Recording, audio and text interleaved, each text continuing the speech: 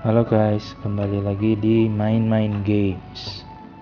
Oke, kita mau ngebahas gimana caranya menaikkan battle powernya jenderal kita ya. Pertama, yang paling basic yaitu kita menaikkan level jenderal. Yang kalian bisa lihat di halaman jenderal kita upgrade dengan buku XP 1.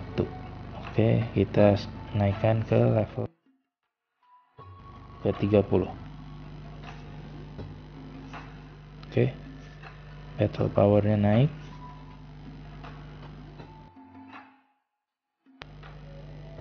Oke. Kedua kita bisa pakai cara menaikkan levelnya uh, tipe troops kita. Untuk Huang Ying ini dia itu cavalry sama penyihir. Kita bisa pencet sekarang level 6 kita bisa naikkan. Eh, masing-masing uh, itu ada ini tongkat baru ikat pinggang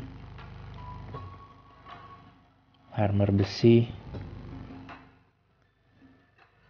sanggurdi semuanya siap ya. Jadi ini pakai silver juga. Naik ke level 7 battle power naik. Naik ke level 7 battle power naik oke. Okay. jadi masih bisa level up lagi ya. Kita naikkan lagi. Oke. okay.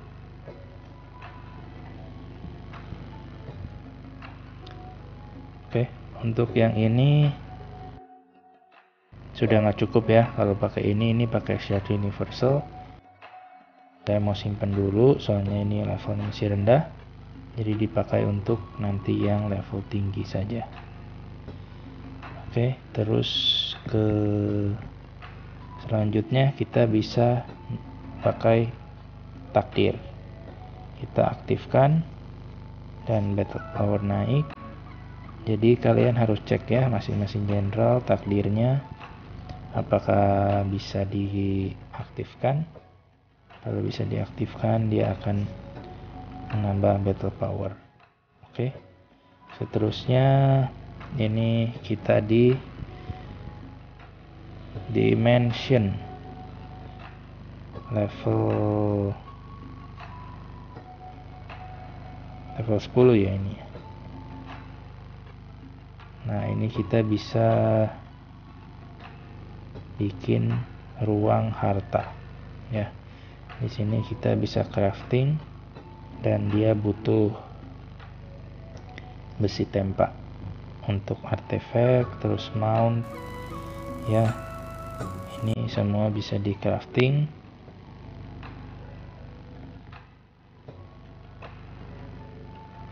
Oke. Okay dan di halaman jenderal dia ada pusaka. Ya ini yang sudah dibikin di tutorial. Oke langsung aja dipakai ya. Dan battle power naik. Oke kalau mau dilepas dipindahin ke jenderal kita juga bisa lepas. Oke ya Oke, dan selain itu kita juga bisa menaikkan ini bintangnya jenderal. Sekarang Macau itu bintang 4 kita naikkan. Oke. Dan battle powernya juga akan naik.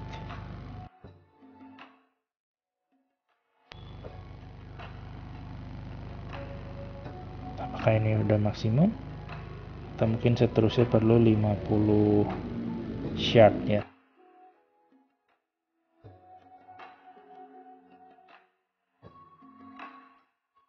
Sudah ada 50 kita akan update lagi. Oke seterusnya selain itu juga bisa naikkan battle power melalui ini skillnya ya jadi kita lihat dulu. Nih dari bakatnya dia perlu skill assault sama operation. Oke. Oke jadi operationnya kita naikkan. Ya naik. Battle power naik. Oke. Sekarang kita naikkan assaultnya juga. Battle power juga naik. Ya. Oke dan selain itu juga kita bisa naikkan battle powernya general dari ini ya bangunannya. Nah yang ini kan bisa dilihat nih. Ini powernya hero garis depan meningkat 40 tambah 20 ya, ini power hero garis belakang 40 tambah 20 ya ini bisa di reset ya oke langsung aja. Tuh powernya naik. Ini juga ada bangunan satu lagi. Ya jadi total ada dua bangunan. Sama yang ini satu lagi. Ini attack semua pasukan bisa naik. Oke yang aula kita percepat saja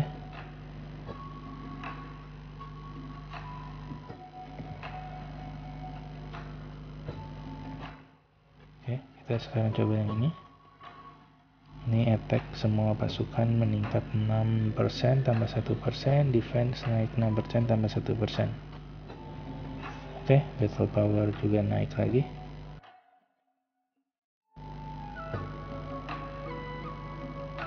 Oke. Sampai sini dulu. Jadi jika ada saran gimana untuk menaikkan battle power lebih lanjut bisa ditulis di komen. Dan jangan lupa untuk klik like, subscribe dan share video ini. Oke sampai jumpa lagi di video berikutnya